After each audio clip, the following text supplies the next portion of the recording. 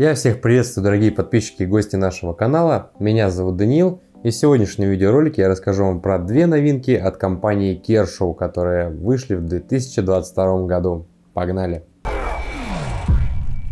Два очень интересных варианта с точки зрения ножа как такового. Оба с совершенно разными механиками открытия и оба с совершенно разным предназначением – это Kershaw 4320 и Kershaw Lounge 14. Начнем, пожалуй, с 4320, а Kershaw Lounge 14 оставим уже на потом. Общая длина складного ножа составляет 191 мм, из которых 83 отмерено на клинок, а остальные 108 это рукоять.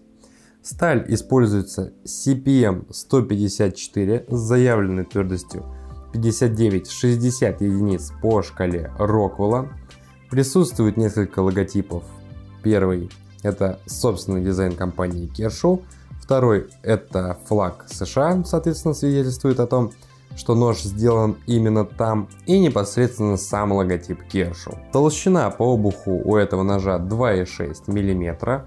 Клинок в форме немножечко боуи. Для открытия используется ногтевой зацеп, замок slip joint. Правда, это не совсем slip joint, это как бы, вам так сказать, немножечко измененный slip joint. Есть два лайнера, которые поджимают нож с помощью шариков детента, которые здесь, кстати, керамические, и предохраняют нож от складывания. Имеется промежуточное положение замка, чтобы в ножички играть. На рукояти используется очень клевая ми-карта. Есть темлячное отверстие. Бэкспейсер сделан из G10. Конечно же, основные стальные лайнеры присутствуют. А вес этого ножа составляет всего лишь 60 грамм.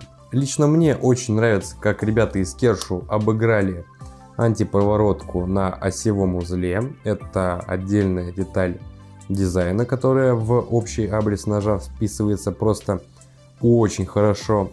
И также интересный момент это сквозные винты. То есть вот только с этой стороны они ставятся и затягиваются полностью через всю рукоять. Это делает конструкцию ножа более надежной, более простой в обслуживании. Открутили осевой, с другой стороны открутили винты. И я думаю, что даже если этот нож разобрать, здесь клиночек все равно будет по центру и ничего ему не будет мешать. 4320, новинка Kershaw 22 года, очень интересный вариантик для ношения на поясе. Ссылки на оба ножа будут в описании к видео и в закрепленном комментарии. Продолжаем наш обзор на новинки Kershaw 22 года моделькой Kershaw Lounge 14. Продолжение знаменитой серии Lounge или Kershaw Auto – кто их как называет по-разному, все варианты правильные. Kershaw Lounge 14. Такая вот тяпочка-автомат. Характеристики следующие. Общая длина складного ножа составляет 197 мм. Клинок это 86, а остальные 111 это рукоять. Толщина по обуху 3,1 мм. Сталь все та же CPM 154 с заявленной твердостью 59-60 единиц по шкале Роквелла. Также логотип флага США, логотип собственного дизайна компании Kershaw и, конечно же, сам бренд. Замок Button Lock. На рукояти у нас алюминий и в данном случае полностью карбоновая вставка. Вес данного ножа составляет 91 грамм. Механика, как и на остальных Kershaw Lounge, клевая. И, конечно же, не обошлось без карманной клипсы, которая здесь выглядит вот так.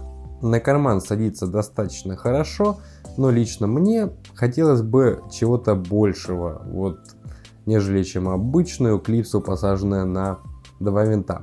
Кстати, она переставляется на левую сторону и внутри карбоновой вставки имеются, скажем так, пазы, чтобы резьба внутри этих как раз таки посадочных мест не скручивалась.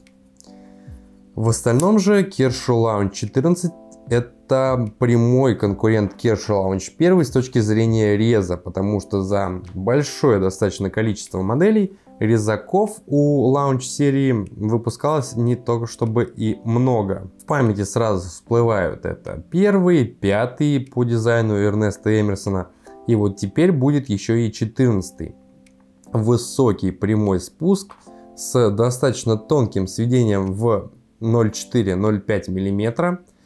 Наличие имеется фальш-лезвие, насечка под большой палец. И очень мне на самом деле нравится, как они реализовали вставку непосредственно полностью карбоновую.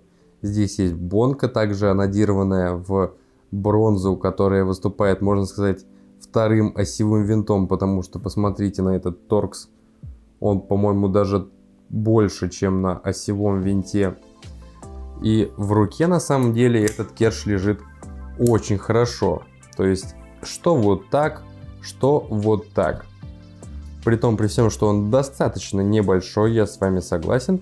Руку заполняет хорошо и, в принципе, работать по плоскости, я думаю, этим ножом будет очень-очень удобно.